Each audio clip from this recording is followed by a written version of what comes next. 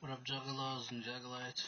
Juggalo Fred, and uh, just got back from the doctor, and so I had a boil on my leg, and they had to slice it open and uh, clean it all up and all that shit.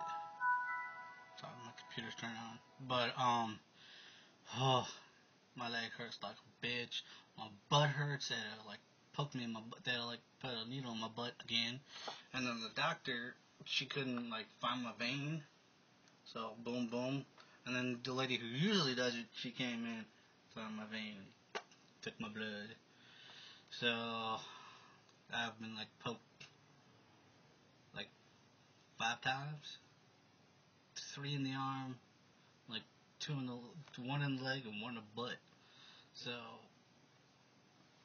ah Pain, y'all. So let's uh, drink some Faygo. Oh, one more thing. Like when I first when I got in there, the nurse who came in like saw me. She's like, "Hey, nice T-shirt." And then she picked up my charm and she's like, "Hey, my homie has the exact same one as you." I was like, "Dude, that's cool."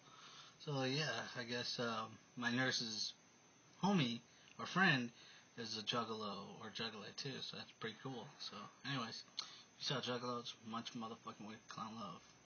Peace. I'm out this bitch. In a pain.